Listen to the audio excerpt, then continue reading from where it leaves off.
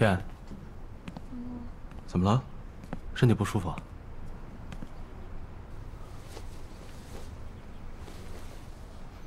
嗯？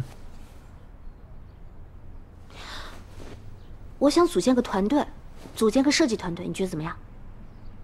你是说倾城的设计团队？对啊，我现在又要做方案，又要做设计，还要搞销售，我忙不过来了，我都要崩溃了。就是因为这样，我太把自己当回事了，所以销售才跟不上。我需要一个团队来帮我。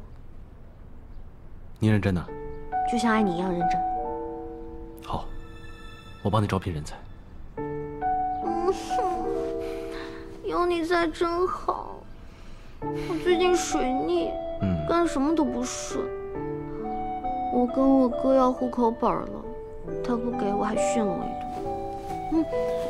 嗯，你哥怎么跟你说的？我哥，他同意我们先办婚礼。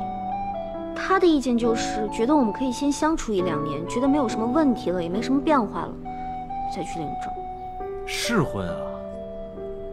我不要试婚，我要结婚。无论用什么办法，我都要在我们相识纪念日那天领证。好，我也会突破你哥那关的，相信我。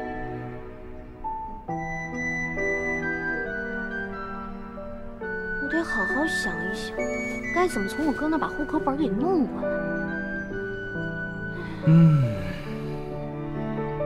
我也在想办法。你想什么办法呀？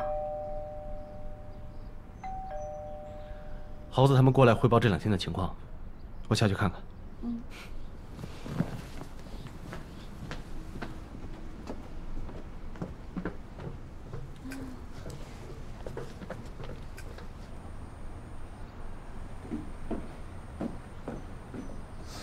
是，咱如果能确定这户口本就在他哥家里，那这事好办了呀，咱直接拿呀。我什么意思？什么什么意思？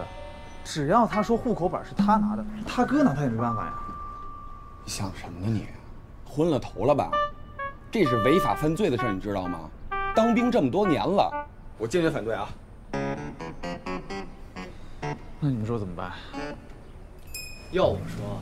咱就直接去找他哥讲理，说不定他哥就愿意把户口本给咱们呢。你说的轻巧，那么容易讲理，那老大早和钱姐在一起了，还用得着咱们在这儿研究？那你说这也不行，那也不行的。哎，对了，他哥有没有什么弱点呀？咱们可以利用一下呀。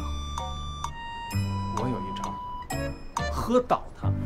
咱五个人跟他喝酒，把他喝开心了，说些好听的话，那说不准人家就自愿把户口本给咱。